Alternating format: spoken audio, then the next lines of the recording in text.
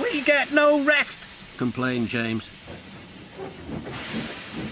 He edged angrily onto the turntable and spoke rudely to Henry. What's the matter, Henry? There's no rain today. Stop worrying and do some work instead. I'm not afraid of getting wet anymore, huffed Henry. Anyway, you look silly enough to be a clown. You should be in a circus. Oh, whistled Percy, so you've heard the news. What news? grunted Gordon. About the circus.